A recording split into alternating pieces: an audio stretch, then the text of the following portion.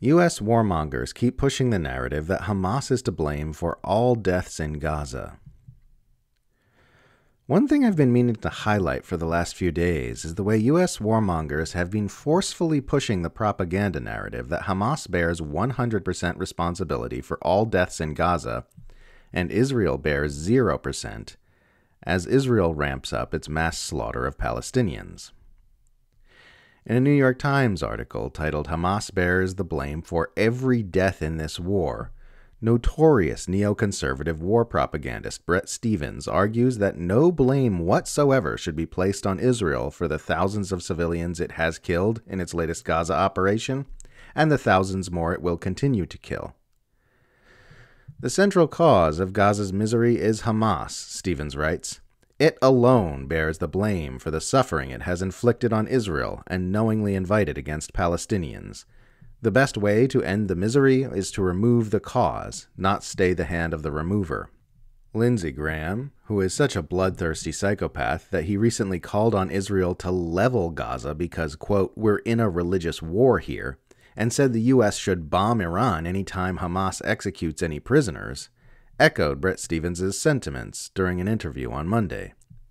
Every death going forward I blame on Hamas, not Israel, Graham said. Graham's senatorial colleague Mitt Romney was even more direct.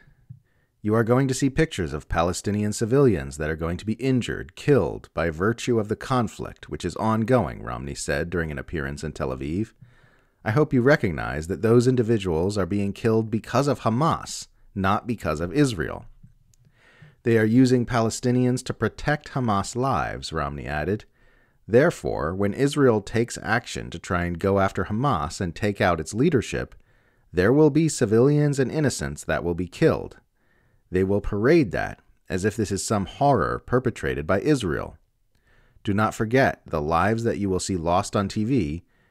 Israeli lives and Palestinian lives lost are the result of Hamas, Romney continued. Fox News war slut Sean Hannity shares the same opinion, surprise, surprise. Every single death in this conflict can be blamed on Hamas and their supporters in Iran, Hannity told his audience. Because of last week's brutal terror attack, Israel has no choice. They must defend their country. This is about as blatant as war propaganda gets. These imperial narrative managers are using their massive platforms and influence to tell everyone Remember, kids, you're going to see a whole bunch of innocent civilians get killed, and it's going to look a lot like those civilians are being killed by Israel. But don't you believe your lying eyes? They're really being killed by Hamas.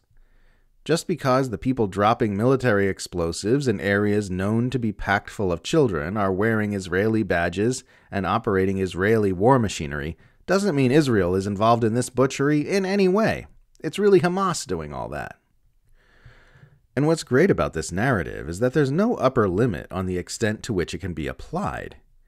If they wind up killing 20,000 Gazans, then Hamas killed 20,000 Gazans. If they wind up killing 100,000 Gazans, then Hamas killed 100,000 Gazans. If they wind up driving all Palestinians out of Gaza into refugee camps in the Sinai Desert and seizing their territory as their own, then God damn you for ethnic cleansing the Gaza Strip, Hamas. No matter how far they extend the bloodshed and abuse, they can still blame it all on Hamas. Per this logic, there is therefore no limit on how far things can be taken before the cost of human life and suffering outweighs Israel's strategic objectives and ceasefire negotiations become necessary. It's a catch all inoculation against peace. This propaganda is being pushed as President Biden vows to support Israel's ongoing Gaza massacre and tells Netanyahu the U.S. is fully behind Israel's planned Gaza ground invasion. Not only is Israel absolutely responsible for the bloodshed it chooses to inflict on the people of Gaza, the United States is too. These crimes are being perpetrated with U.S. weapons, U.S. funding, and U.S. consent, and backed by the full might of the U.S. propaganda machine. The U.S. is just as responsible for the destruction of Gaza as Israel is.